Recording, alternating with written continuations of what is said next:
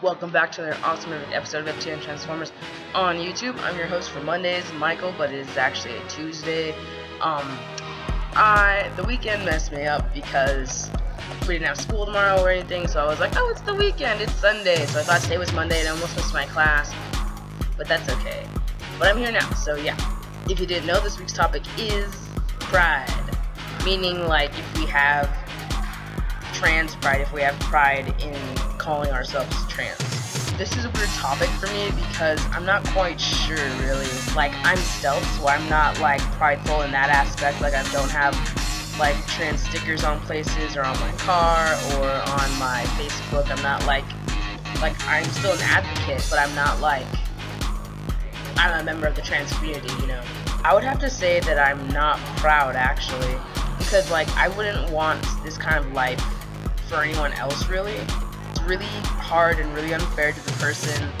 And like you know you just have these struggles every single day to try and be you and to somehow prove to other people because they don't accept you that you are who you say you are. And it's just so much like depression and dysphoria with it that I'm not proud about any of those things. I'm not proud about the things that I've done to try and alleviate myself those things like hurting myself or you know lashing out at others or you know just stuff like that. The only pride I do have would be like that I've overcome a lot of my dysphoria and depression and stuff like that.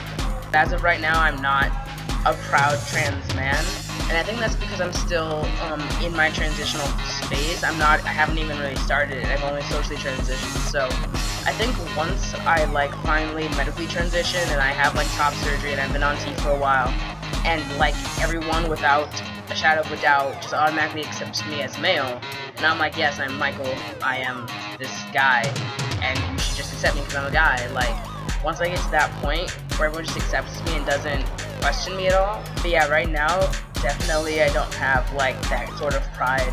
So maybe later when after I'm, everything's done and everything's settled and everything, then I'll start wearing, you know, trans pride flags and participating in like you know trans events openly and being like yes as a trans man like this is what I think and this is how I think it should be versus just like well I know lots of people in like the LGBTQ community like this and yada yada yada.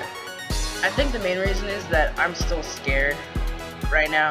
I'm scared that if I'm too pride proudful then you know it like leaves me open to more threats and stuff like that, and more like discrimination and harassment stuff that I don't really want to deal with right now, especially being at university. So that's probably part of it.